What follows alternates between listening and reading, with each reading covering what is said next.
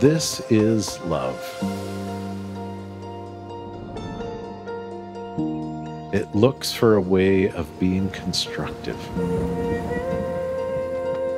Love has good manners. It's not possessive and does not pursue selfish advantage. Love knows no limit to its endurance, no end to its trust, no fading of its hope, and it can outlast anything.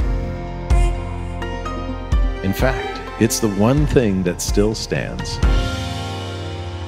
when all else falls.